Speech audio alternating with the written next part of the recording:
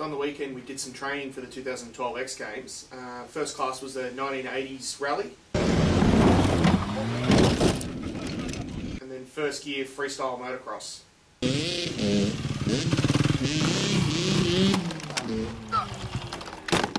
What the f-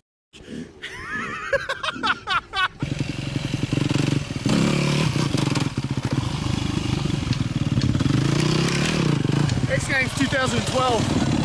Ah!